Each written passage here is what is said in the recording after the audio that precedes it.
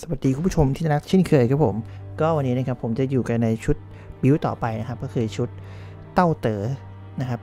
เทียนซุน The Pure One อ่าจริงแล้ว Pure One เนี่ยมีกัน 3 คนนะครับเป็น 3 ผู้บริสุทธิ์อ่าเดี๋ยวว่ากันตอนหลังแล้วกันนะครับโดยที่ชุดนี้นะครับจะเป็นชุดที่เรียกว่าเป็นชุดที่เจ้าแห่งการ deflect นะครับแล้วก็ชุดที่ไม่ให้ศัตรูนั้นหนีได้นะครับเป็นชุดที่เน้นมี damage และเพิ่ม spirit gain ค่อนข้างเยอะนะครับผม อะชุดนี้นะครับฟาร์มผมฟาร์มมาจากในส่วนของเสื้อกับกางเกงเนาะ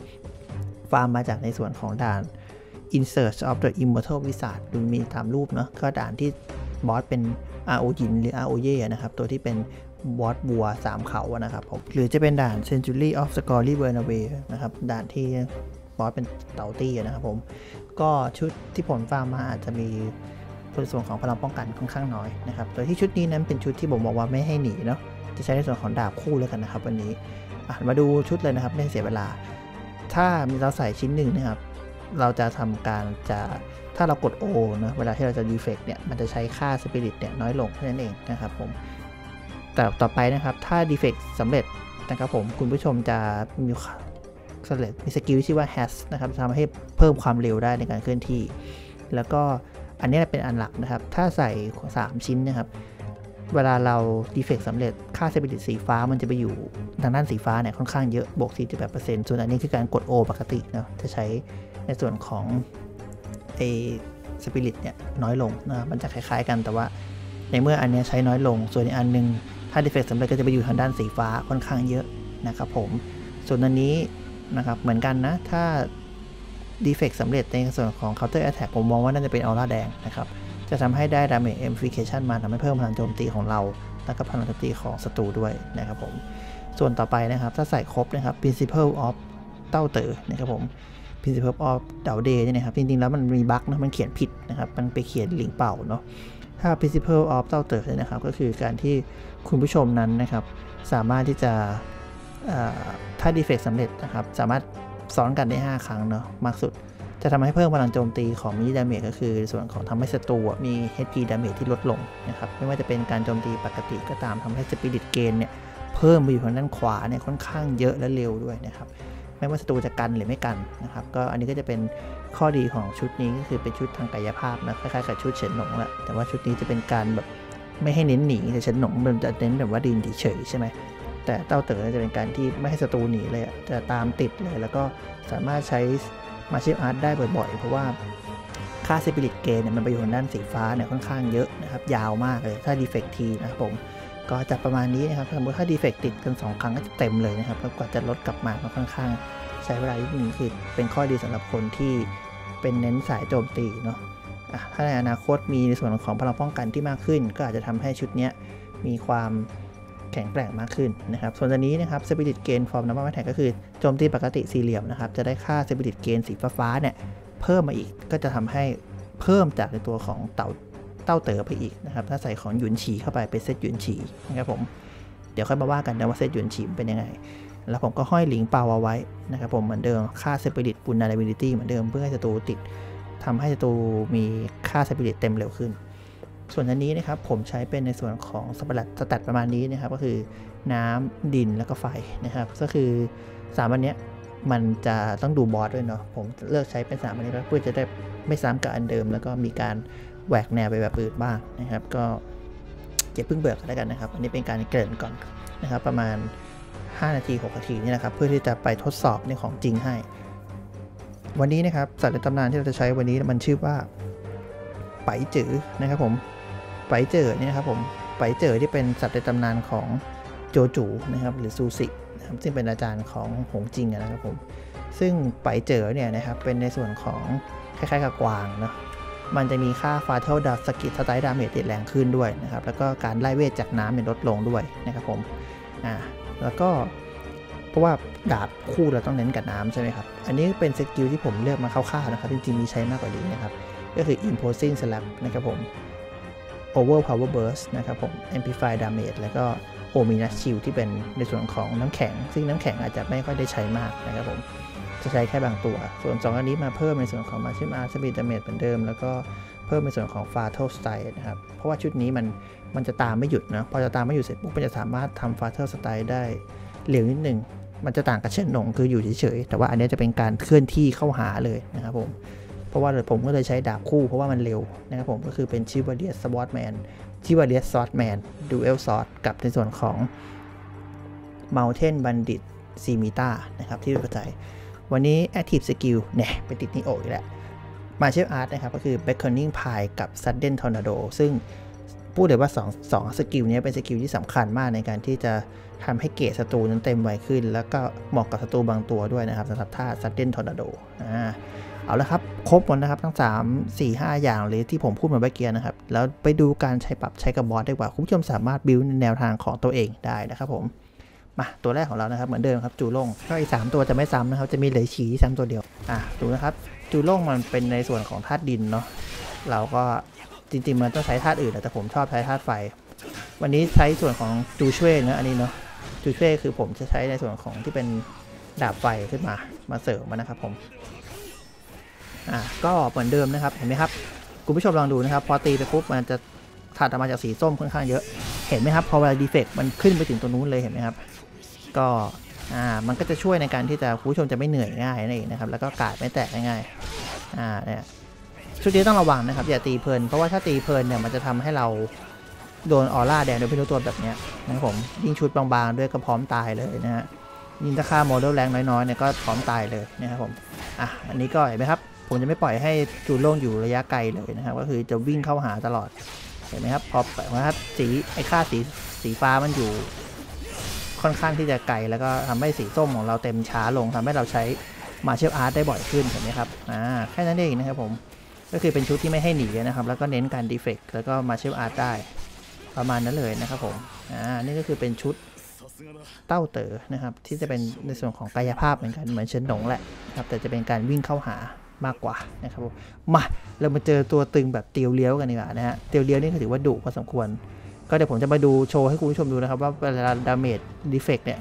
มันจะเพิ่มค่าในส่วนของตัวนี้ค่อนข้างเยอะอ่าซึ่งไอไอเตียวเลี้ยวเนี่ยนะครับมันจะตีค่อนข้างรัว แล้วก็เนี่ยท่าเนี้ยนะครับ Mountain Bandit s i m i t a เนี่ยมันจะมีท่าสามเหลี่ยมที่ฟันหัวแบบเนี้ยมันก็จะทำให้ ชุดเนี้ยมันเหมาะกับเตียวเลี้ยวมากเลยรู้นะครับแอบเห็นไหมมันอยู่ใกล้ๆเห็นไหมโดนอย่างเงี้ยอ่าพอแทงเข้าไปมันก็จะหายเหนื่อยใช่ไหมครับอ่าอันนี้ผมก็ใช้ส่วนของไฟจืดแทนนะครับเป็นธาตุน้ำอ่าแล้วก็อย่าฟันเพลินอย่าลืมด้วยนะครับ เพราะว่าเตียวเลี้ยวเขาจะมีสองท่าคือท่าที่พุ่งมาจากข้างบนแล้วก็พุ่งเข้ามาแบบเนี้ยคุณผู้ชมก็ต้องระวัง แล้วก็ท่าที่เขายังไม่ใช้เป็น living weapon คุณผู้ชมก็ระวังดีๆนะครับก็สามารถโจมตีได้ปกติเตียวเลี้ยวจะไม่ค่อยเก่งในร่างนี้เท่าไหร่แต่ถ้าเป็นร่าง living weapon สายฟ้านี่คือ อย่าเข้าไปแลกนะครับ ให้ deflect อย่างเดียวแล้วก็ใช้สามเหลี่ยมสกัดเอาบางครั้งพอ เพราะว่าในส่วนของเตียวเลี้ยวแม่งโหดมากแม่งตีแรงโคตรๆนะครับ แนะนำให้กิน elixir ก่อนเลยนะครับ เพราะไม่งั้นไม่น่าจะสู้ไหวนะครับ ตีไปกี่ทีก็น่าตาย ส่วนท่านี้กันไม่ยาก ไอ้ท่าที่กันน่ยากอาจจะเป็นท่าที่พุ่งเข้ามาต้องจับจังหวะจังหวะท้ายเนาะ อ่าสู้แค่นี้พอ อ่า อันนี้แหละ แล้วก็โจมตีไป เสร็จคุณผู้ชมสังเกตครับว่าผมไม่ค่อยมีส่วนของค่าเซเบริตที่เต็มมาก ๆ ก็ พยายามที่จะโจมตีแล้วก็ดีเฟกต์ไปต่างๆ เห็นไหมครับดีเฟกต์มันจะเกือบเต็มฝั่งนู้นเลยเห็นไหมครับอ่าแล้วก็ท่าเนี้ยถ้ามันฟันอย่างเงี้จะสามารถตีได้สักพักหนึ่งนะครับ มันจะไปค้างท่านั้นแป๊บนึงแล้วก็สามารถตีได้นะครับผมของท่าของเตียวเลี้ยวอ่าเตียวเลี้ยวนี่ใครสู้กันแต่แรกนี่แม่งโคตรยากนะครับ แต่มันจะมีสูตรนะครับ ค่อย ๆ ไป ถ้าไอ้ไอ้ท่าที่พุ่งมาจากข้างบนเมื่อกี้จะกันง่ายมากๆนะครับกันง่ายกว่าไอ้ท่าที่พุ่งเข้ามาด้านล่างอะจะยากกว่าเนี้ยอันนี้ง่ายกันไม่ยากนะครับผม อ่าแล้วก็ท่าที่มันพอมันอยู่ในร่างเนี้ยนะครับร่างลิฟวิ่งเวพอนเนี่ยให้รีบๆตีได้เลยครับตราบใดที่ยังไม่เป็นท่าสายฟ้านี่อะอย่างเงี้ยก็ต้องระวังละอย่าเข้าไปเพลินๆนะครับใส่ดีเฟกเอาอ่านี่เรียบร้อยไปแล้วก็โจมตีไปก็ประมาณนี้นะครับสำหรับชุดเต้าเตยคุณผู้ชมสังเกตครับว่าผมไม่ให้ศัตรูนั้นอยู่ไกลๆเลย ถ้าไม่จำเป็นจริงๆนะครับผมคือเตียวเลี้ยวมันจะเป็นที่ต้องอยู่เพราะว่ามันมันค่อนข้างโดดโหดนะครับ ถ้าจะเป็นท่าสายฟ้าแล้วนะครับผมอ่า อันนี้คือท่าทอร์นาโดเมื่อกี้เนอะทำให้โจมตีระยะไกลๆได้อ่าถ้าใครจับทางได้เตียวเลี้ยวมันจะท่ามันจะซ้ำๆมันก็จะไม่ค่อยโหดแต่ว่าแรก ๆ ถ้าใครไม่เคยเจอกับแม่งเนี่ยโคตรดุเลยนะฮะเอาหนีไปไหนนะจ๊ะน้องก็ประมาณนี้นะครับ ก็คือจะไม่ให้ศัตรูหนีเลยแล้วก็วิ่งเข้าหาอย่างเดียวนะครับผมอืมคุณผู้ชมสามารถได้ปรับใช้ในอนาคตได้นะครับอาจจะมี damage ที่แรงกับผมก็ได้เนาะ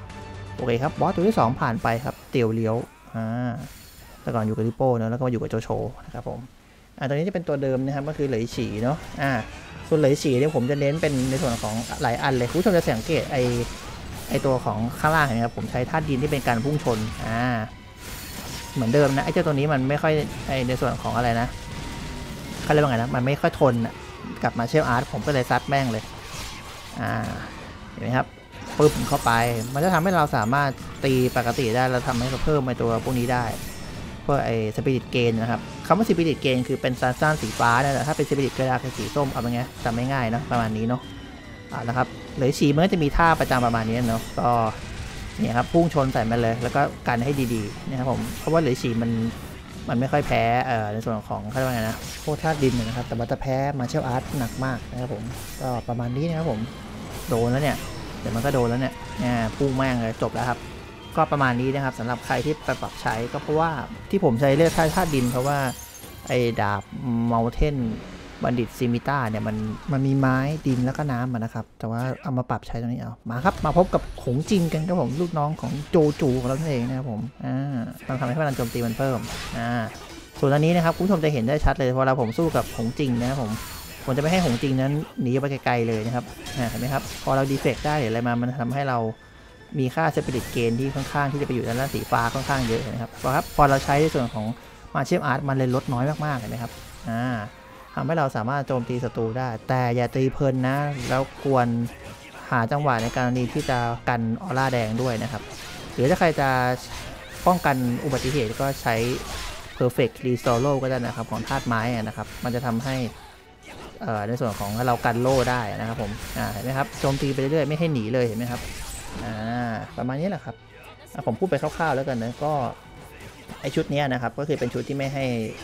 ไม่ให้หนีไปไหน แล้วก็ดีเฟกเรานะครับผมส่วนที่ผมบอกไว้ตอนแรกนะว่าทำไมชุดนี้มันมีอีก 2 คนนะก็คือในส่วนของลัทธิเต่านะครับ มันจะมีเทพ 3 คนเนี้ยนะครับที่เป็นเทพที่แบบใหญ่ๆเลยนะครับผมก็คือคนแรกนะครับก็คือในส่วนของ ที่ผมบอกว่าหยวนฉีนะจริงๆแล้วเขาชื่อหยวนสื่อนะครับหยวนสื่อเทียนซุนหรือเทียนจุนนะครับผมเป็นปฐมมกษัตริย์แห่งลัทธิเต๋าเลยพระเจ้าสูงสุดเลยนะครับ ยิ่งกว่าเฮกเซียนฮ่องเต้อีกนะครับ ส่วนคนที่ 2 กับ 3 จะอยู่ขนาบข้างเขาก็จะเป็นในส่วนของเต้าเต๋อนะครับ แล้วก็หลิงเป่าเทียนซุนนั่นเองครับผม เกี่ยวกับพวกของลัทธิเต๋านะครับผมอ่าหนึ่งสร้างสองสองสร้างสามอะไรเงี้ยนะครับถ้าผมจำไม่ผิดเนาะก็ประมาณนี้นะครับสำหรับประวัติชุดเซตส่วนเจ้าตัวนี้คือ อ้วนเซี่ยวครับร่างผสมกับเสวียนอู่อ่าจริงๆ ถ้าสมมติภาษาญี่ปุ่นก็คือเกนบุใช่ไหมแต่ถ้าภาษาจีนก็คือเสวียนอู่นะครับผมอ่าซึ่งเจ้าตัวเนี้ยมันจะแพ้ดินพอสมควรเลย ผมก็เลยจะเน้นดิน คุณผู้ชมจะเห็นในส่วนของในส่วนของท่าที่เป็นอ่าสกิลของธาตุดินเห็นไหมครับท่าที่เป็นท่าคำราม Lion Roar นะครับ Lion Roar ก็คือท่าเนี้ยนะครับมันจะเป็นท่าที่สามารถหักล้างกับท่าของศัตรูได้อย่างเช่นท่าเนี้ยนะครับพอผมหักล้างปุ๊บเห็นไหมครับ มันมีภาษาจีนขึ้นแล้วก็ในส่วนของมันจะทำให้ไอ้ท่านี้จริงๆแล้วมันจะทำให้พื้นที่ตรงนี้เป็นน้ำแข็งใช่ไหมครับเราสามารถทำให้พื้นที่ตรงนี้กลับเป็นพื้นที่ปกติได้ด้วยการใช้ท่านี้นะครับผมถามว่ารู้ได้ไงนะครับ เคยโดนอินเวดเข้ามาฮะแล้วใช้โอเมนัชิลใส่แม่งแล้วแม่งใช้ท่านี้ผมก็เลยอ๋อหรอมันเป็นอย่างนี้นี่เองนะฮะเลยปรับมาใช้บ้างก็สู้กับอ้วนเซี่ยวนะครับต้องระวังด้วยเพราะอ้วนเซี่ยวมันเป็นถึงมันจะโจมตีไม่แรงนะครับ แต่มันก็จะมีท่าที่โกงๆก็คือท่าพวกปล่อยน้ำแข็งอะไรพวกนี้นะครับผมก็กันดีๆ ก็หักล้างเอานะครับ ใช้ Lion Roar หักล้างเอา จริงๆมันอ่านว่าโลแต่ผมชอบอ่านโลอาไม่รู้เป็นโรคอะไรนะฮะเอาละครับเนี่ยแล้วก็อ้วนเซี่ยวนะครับ มันจะมันจะไม่ได้ตีแรงมาก เพราะว่าถ้า Lion Roar นะครับ ถ้าคุณผู้ชมใช้เนี่ยศัตรูจะจะทำการใช้ damage โจมตีเราเนี่ยได้ลดน้อยลงนะครับผมก็อ้วนเซี่ยวมันจะมีท่า deflect สองอันนะคือท่าเนี้ยถ้าหลบไม่ทันจะโดน เอากระดองมาแล้วก็ปล่อยน้ำแข็งใส่นะฮะอ่าส่วนอีกท่านะครับ มันจะเป็นท่าปล่อยกระดองออกมาแล้วหมุนไปทั่วแมปนะครับ ถ้าคุณผู้ชมกันไม่ได้มันก็จะหมุนอย่างนั้นเพราะฉะนั้นพลังคิดเราลดเยอะนะครับผมนั่นคือท่าออร่าแดงของอ้วนเซี่ยวครับผมสองท่าอ่าก็ประมาณนี้นะครับเนี่ยพอมันยิงมาใช่ไหมเราหลบได้แล้วก็เป่าน้ำแข็งใส่เลย มันก็จะทำอะไรเราไม่ได้นะครับน้ำแข็งก็จะหายไปเพราะถ้าใครไม่เป่านะครับพื้นที่ตรงนี้จะเป็นน้ำแข็งพอคุณผู้ชมเดินไปคุณผู้ชมก็จะติดท่าน้ำแข็ง ถ้าผมจำไม่ผิดนะท่าน้ำแข็งมันจะทำให้ศัตรู ที่โดนท่าน้ำแข็งเข้าไปนะครับ ค่าสปิริตมันจะค้างครับ แล้วมันจะไม่สามารถลดได้ นอกจากเราจะทำการดีเฟกต์อย่างเดียวนั่นคือความน่ากลัวของท่าน้ำแข็งครับ เพราะบางทีคุณผู้ชมอาจจะจะทำอะไรมันสักอย่างจะมาเชื่ออาร์ตแต่มันก็ทำไม่ได้ มันก็เลยจะน่ากลัวตรงนั้นสำหรับท่าน้ำแข็งนะครับ นั่นก็คือความน่ากลัวของอ้วนเซี่ยวนะครับ ผม กับร่างเสวียนอูนั่นเองครับผม อะ เอาเป็นว่าผมมาสรุปนะกันนะครับว่าชุดเต้าเต๋อนะครับ จะเป็นชุดที่ไม่ให้หนีนะ เกาะติดศัตรูนะแล้วก็เป็นอารมณ์ที่ถ้าในภายภาคหน้าน่าจะมีการ ถ้าผมมีการ embedment ที่ดีนะเผื่อจะมาอัปเดตแล้วกันนะครับทำให้พลังโจมตีมันแรงขึ้นนั่นเองแล้วก็บอกไว้เลยครับว่าท่านี้อาจจะเป็นท่ากายภาพต้องใช้ความชำนาญนิดหนึ่งนะครับ ในการที่คุณผู้ชมจะใช้สู้กับศัตรูเพราะว่ามันเป็นชุดที่เป็นชุดเทพนะเพราะชุดเทพมันจะสุ่ม drop จากชุดต่างๆในภายภาคหน้าอาจจะ drop พวก พวกอะไรนะ White Horse อะไรพวกเนี้ยหรือไม่ก็พวกชุดของกองซุนจ้านนะมันก็จะทำให้มีพลังป้องกันมากขึ้นอะไรพวกเนี้ยนะครับผมอ่าประมาณนี้นะครับโอเคครับหวังว่าผู้ชมจะชอบมีคำถามทิ้งไว้ข้างล่างเหมือนเดิมพบกันใหม่ในบิวหน้าบิวหน้าโหดมากนะบอกเลย bye bye ครับผม